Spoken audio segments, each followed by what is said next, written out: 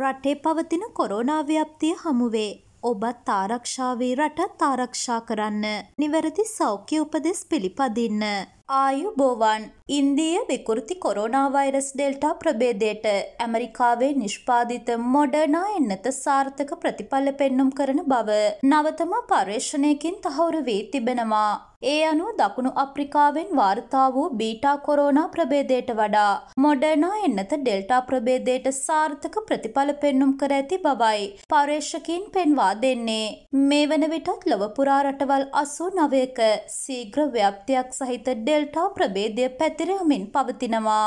තවත් මෙවැනිම පුවත් නැරඹීමට දැන්ම අපිව සබස්ක්‍රයිබ් කරන්න. අපි අලුතින්ම අප්ලෝඩ් කරන වීඩියෝස් ගැන කලින්ම දැනගන්න බෙල් අයිකන් එකත් ක්ලික් කරන්න.